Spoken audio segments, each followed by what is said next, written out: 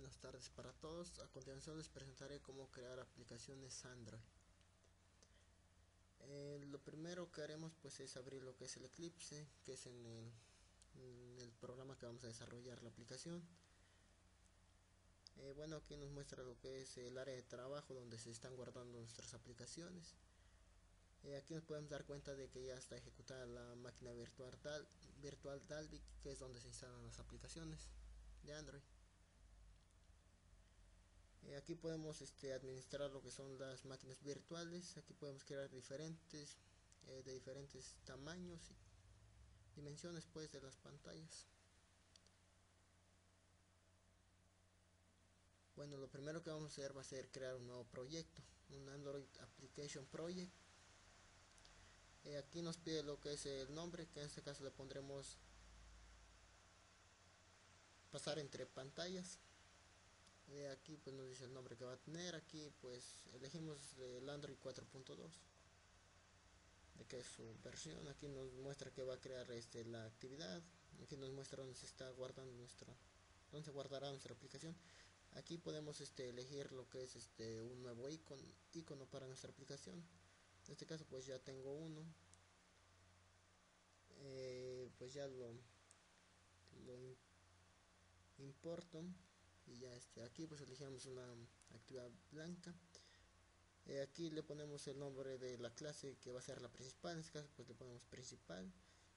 Eh, la layout que es este la pantalla principal pues en este caso la ventanita principal y le dejo principal igual con solo con la, primera letra minúscula. Eh, damos en finish. Ahora se comenzará a crear lo que es este el área de trabajo en la que estaremos desarrollando lo que es la aplicación. Aquí pues está cargando. Y bueno ya cargó el área de trabajo aquí. Em, ahora lo que haremos será crear este un nuevo Android XML que sería otra pantallita pues más que nada eh, pues son layouts en este caso le ponemos pantalla 2 elegimos este el tipo de área pues absolute layout ya que esto nos permite eh, tener una mayor movilidad de los objetos que introduzcamos a lo que es la pantalla.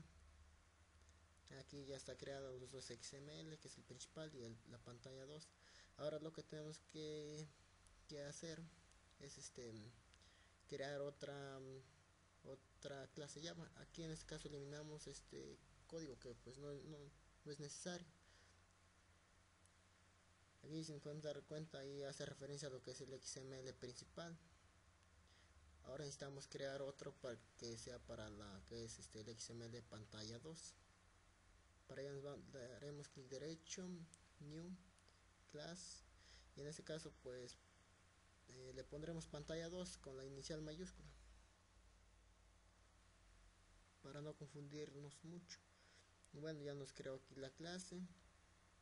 Eh, aquí copiamos este código porque pues este en este código pues ya hacemos referencia a lo que es este su layo aquí nos marca mal porque tenemos este principal y la clase en la que estamos se llama pantalla 2 eh, ya no nos marca error y ahora ponemos este al, la que hará referencia que en este caso es pantalla 2 eh, el XML o layout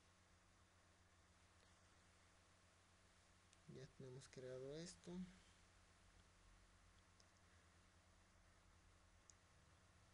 Ahora lo que haremos este bueno aquí por default siempre nos crea una etiqueta que dice hello world.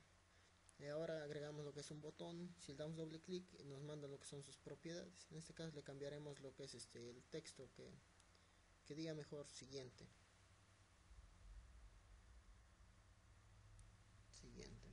ahora lo que haremos es crear un método para este botón. Vamos a android.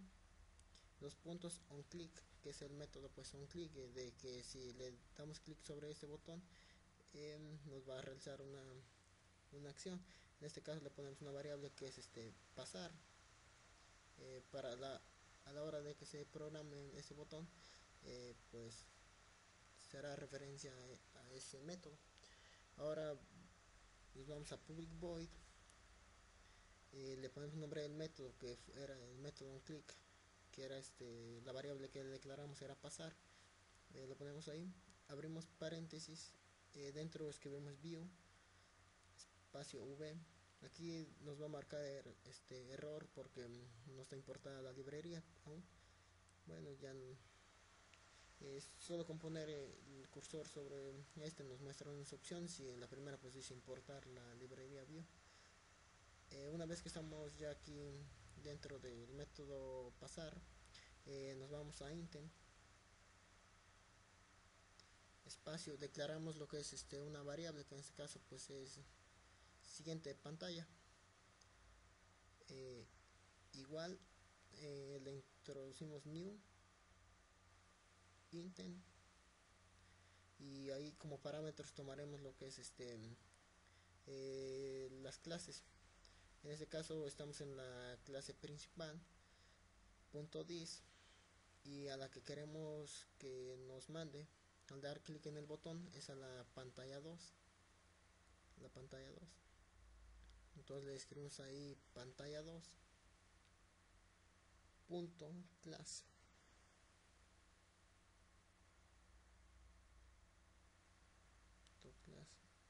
Eh, le ponemos punto y coma. Y ahora el, hacemos uso del método start activity.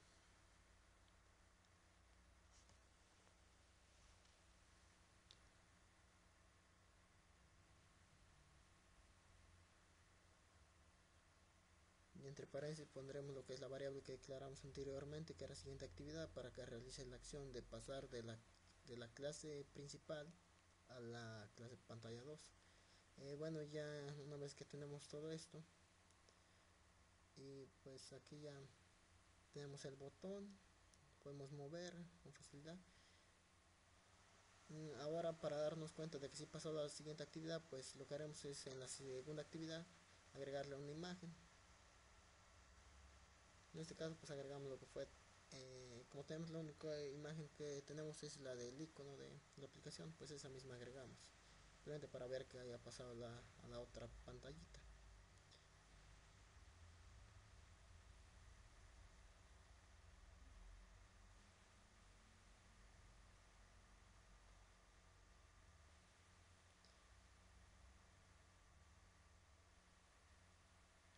lo siguiente que haremos es irnos a lo que es Android Manifest. Y aquí a Activity Application, perdón. Aquí más que nada lo que hará pues será enlazar lo que son este, las pantallas de las clases pues. Para así como agregarlas. Aquí agregamos lo que es este una nueva actividad. Una nueva activity eh, aquí le pondremos el nombre de, lo, de la clase. En este caso es la pantalla 2 porque la principal ya está agregada por default. Le damos para que la agregue y ya pues podemos dar cuenta de que ya está agregada. En el caso de que no agreguemos ahí la la, otra clase eh, a la hora de dar siguiente nos marca error. Bueno ya tenemos depurada lo que es la la máquina virtual aquí nos dice que este, deseamos guardar los, los cambios. Bueno si nos podemos dar cuenta aquí tiene un asterisco. Es que decir que se le hicieron modificaciones y pues no, no se han guardado los cambios. Eh, aquí pues le damos ok aquí nos marca de todos los que queramos guardar. En este caso pues guardaremos de todos.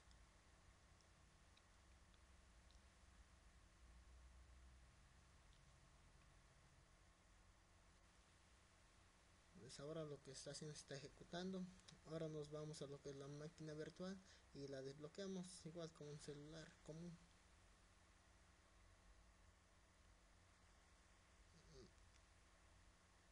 Ahora nos damos cuenta de que está realizando algunos procesos y pues acá ya, ya en el celular virtual ya nos, este, nos instaló la aplicación le damos siguiente y efectivamente vemos que nos manda la pantalla 2 ahí pudo variar lo que fue la dimensión de la, de la aplicación que se creó y la dimensión de la máquina virtual de, que se le dio la pantalla pues el display.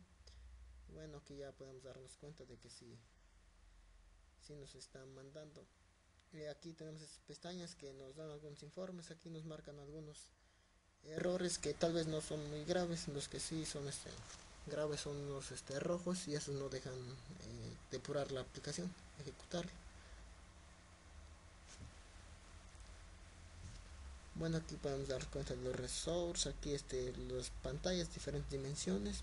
Aquí es layout que son las pantallitas pues en formato XML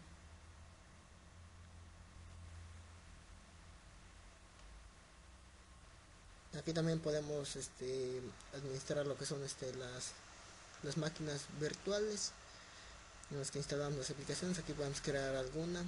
Este, le ponemos nada más el nombre en este caso pues Dalvik 2 elegimos el, la dimensión de la pantalla o ahí nos muestra algunos este, algunos eh, celulares. En este caso pues, más que nada pues, las pantallas dimensiones. En este caso la elegimos. Aquí podemos este agregar lo que son cámaras.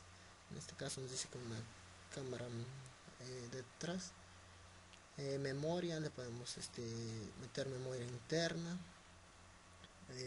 Memoria SD y aquí pues se nos está pasando ahí bueno lo que es este crear poner la versión del sistema operativo Android que queremos trabajar en este caso Android 4.2 y aquí nos muestra el CPU y bueno muestra el procesador que Intel Atom.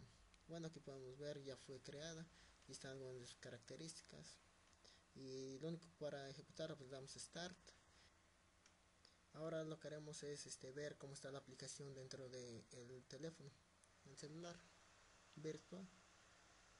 Eh, una vez que desbloqueamos el celular nos aparecerá en este caso la aplicación ejecutándose porque cuando la bloqueamos la pantalla estaba ejecutándose. Eh, si le damos hacia atrás eh, pues nos muestra acá las actividades las dos nos salimos. Ahí tenemos lo que es un celular común y aquí las aplicaciones que tiene instalada por default y ahí se encuentra nuestra aplicación y el icono que le asignamos y se pasará entre pantallas.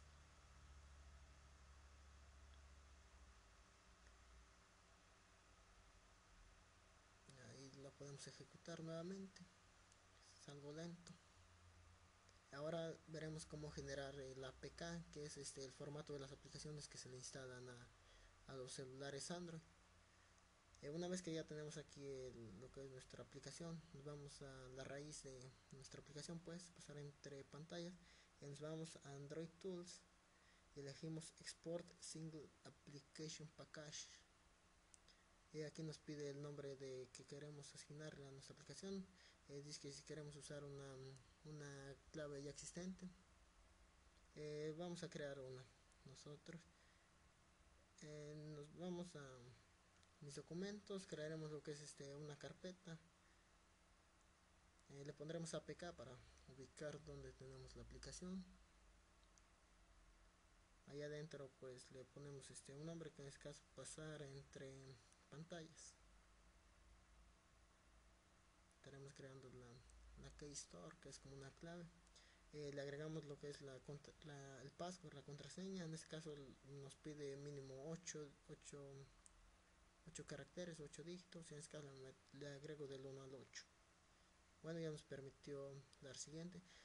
Aquí más que nada pues damos este información acerca de la aplicación un alias pues, de actividades le agregamos la password que es del 1 al 8 la confirmamos.